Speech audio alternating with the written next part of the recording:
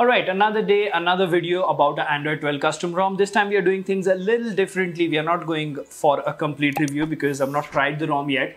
But instead, Sanath, one of my elite testers, a big thank you to him. He has tried this ROM. He has used it for a couple of days. He's reviewed it. So we have the numbers ready. We have the opinion ready. But I thought in this video, let me also show you how to install it. You know, so first we will go ahead and install it. And then we will look at the benchmarks, the battery stats, and the overall opinions of this particular ROM. So before we get into the details, well, if you haven't already, please subscribe and hit that notification bell icon because it doesn't cost you anything.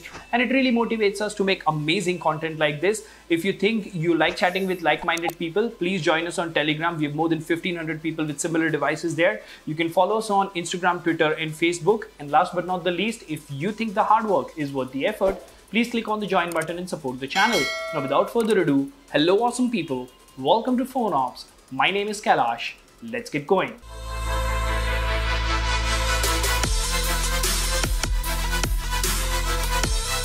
So let's see what we have here. We have official S12 OSS vendor Voltage OS updated on the 13th of December 2021. Now this is a vanilla build which means you will need Google Apps. The link is mentioned in the description. You have the support group, you have XDA and flashing guide. We will look at that and let's look at the change log over here. Okay device side there are a lot of changes which means this rom would be great and that is the opinion of sanath as well. So shifted to new trees thanks to this is this. Shifted to soviet star kernel that is good. Updated blobs from this thing. Noticeable improvements in active and idle rain. Good for battery life. Better heat management compared to old blobs. Fixed camera not working in few telegram clients added DC dimming in high brightness mode, compiled using latest Clang, shifted from stock camera 2 to Graphene OS camera app, fixed OK Google Hotword permission, this need full GApps package to work, okay. Latest Pixel offline charging images used, that's great. Update DOS package, many features included, added FPS info tile. So those are good things. Now let's see what do what they have to say as far as the flashing procedure is concerned. So we are on XDA now. And this is the top result. Okay. So clean flash is recommended. Use, use Orange Fox recovery from here. Wipe all the following Dalvik cache system vendor data, flash latest Android 11 firmware of your region, flash voltage OS, GApps plus DFE, wipe cache in Dalvik and reboot to the ROM, right? So we've done all of that. What are the files that we need? You of course need to have Orange Fox Recovery installed. You need to have the ROM, you need to have GApps and you need to have DFE. If you need root access, you can flash that later after the ROM has settled down. Okay. So in our case, we have the three files in our phone's internal memory. That is DFE. Then we have Flame GApps. We have the firmware and then we have voltage. So basically there are four files that are needed. Now let's go to TWRP over here, restart select recovery let's go to the recovery and flash this wonderful ROM. I tried this when it was initially released and it was giving good experience. So now it should be even better. All right, now once you've booted into TWRP, go to wipe, advanced wipe, Dalvik cache system vendor data. I'm not wiping internal storage because that's where my files are. Okay, now once everything is wiped, we will go in a sequence. So first,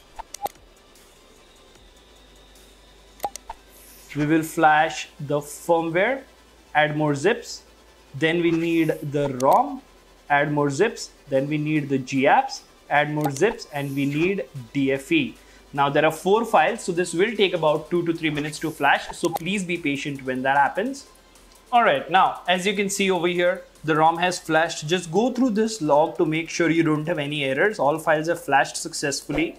Then go to wipe cache in dalvik okay go to the main menu, go to wipe, go to format data and type in yes. Now we are doing this for users who are not decrypted.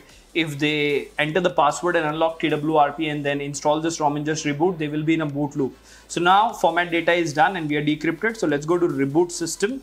Okay, and just like that, we have booted to the home screen. I'm quickly going to sign in and skip the setup part over here.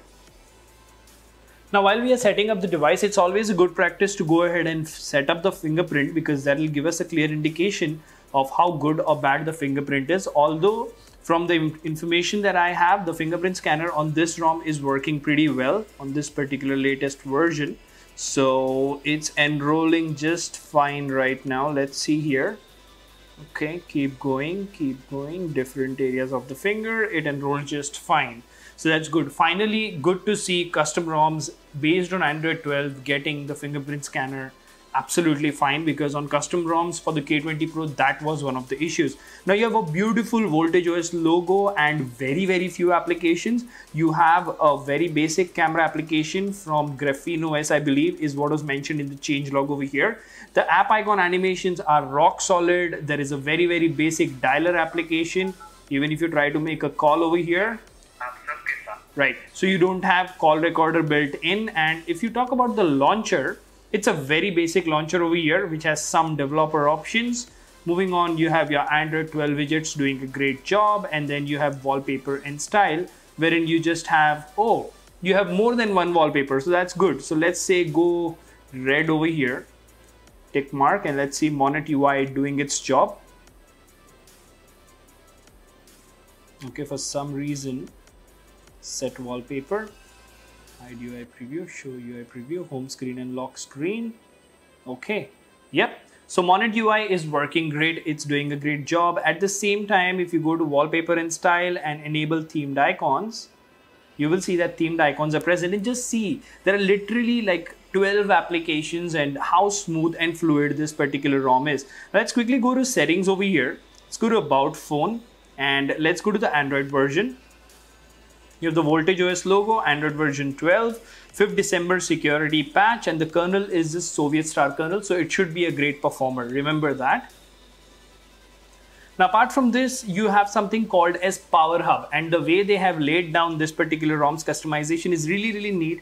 I'm not going to go to each and every option, but I'll quickly show you each and every option. You can probably pause the video and have a look at it. So you have status bar. Let's see here. Wow. I've got to try this ROM and do a personal customization review or something because this does look like having a lot of customization. And on the first boot as well this ROM is really really smooth we will look at the benchmark numbers, of course, and the battery backup, but just see how the amount of customization is present on this particular ROM. And that's really, really neat. You have notification access and customization as well. And then you have miscellaneous as well. Now, if you actually go to battery over here, you don't have thermal profiles, but if you search for, say, the gaming mode, game settings, turn on game dashboard, Nope, I don't see the game dashboard. Even if you go to settings and you go to apps, you don't have the new game space which is available in DerpFest and a few other custom ROMs. So the gaming mode and thermal profiles are missing. I think they can add that later and uh, even without thermal profiles, remember on the yesterday's review in uh, Syberia OS, the ROM was performing really, really great. So, you know, that's everything that's present as far as customization is concerned. As far as uh, Play Store device certification is concerned, let's quickly go ahead and launch Play Store. Let's go to settings. Okay, it's still loading. So let's quickly have a look at the screenshots of the performance numbers. Alright, so safety net passes fine, DRM info is okay, all those things are taken care of. Let's quickly have a look at the battery backup and charging. So the first thing that we have here is charging. Charging from 73 to 95%. That's 22% took 25 minutes. So 100% from 1 to 100% should take about 1 hour 10 minutes or 1 hour 20 minutes at the most, which is really, really neat. If you talk about the battery backup, as you can see over here, we have 2 hours and 55 minutes of screen on time and the phone was still at 65%. That means the battery backup numbers are really, really good. Moving on, Soviet Star, great performance, single core 744 2571 multi-core for a 855, that's decent numbers.